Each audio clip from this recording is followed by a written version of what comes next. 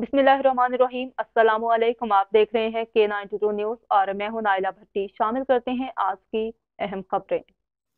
नौशहरा फेरोज की यूसी मिसर जीवा और दरिया खान मरी का लिंक रोड है। इस रोड का कई बार टेंडर पास हुआ, लेकिन इसी का काम जेर तामीर न इमरजेंसी लोगों को बड़ी मुश्किल का सामना करना पड़ता है।